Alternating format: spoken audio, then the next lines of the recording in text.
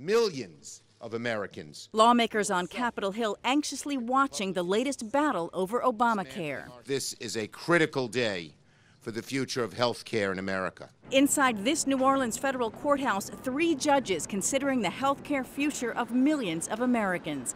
Democrats fighting for the Affordable Care Act, arguing millions of Americans would lose pre existing condition coverage and Medicaid coverage, and seniors would pay more for prescription drugs. Blue states on defense as 18 Republican led states and the Trump Justice Department ask that the Affordable Care Act be struck down. The Attorney General for Texas saying today it's time to bury Obamacare once and for all and deliver real health care reform.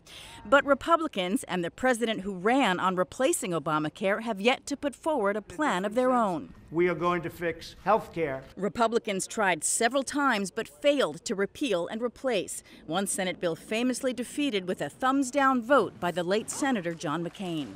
And this is an attempt by the Trump administration and the Republican attorneys general to try to get what they couldn't get done in Congress. Some say the Republican effort to end Obamacare could backfire. Healthcare really resonates, and the Democratic candidates are all focused on improving coverage and improving affordability. The Supreme Court upheld Obamacare twice, and it could end up there again, putting health care on the front lines of the 2020 election.